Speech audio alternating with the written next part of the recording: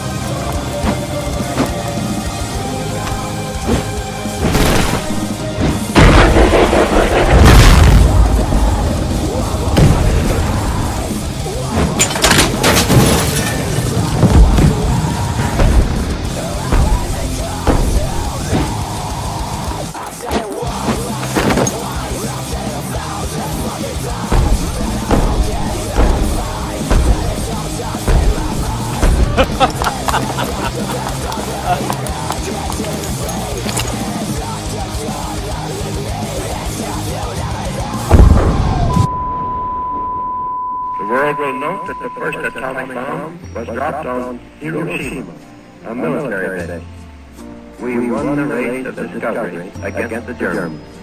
We have used it in order to shorten the agony of war, in order to save the lives of the thousands and thousands of young Americans.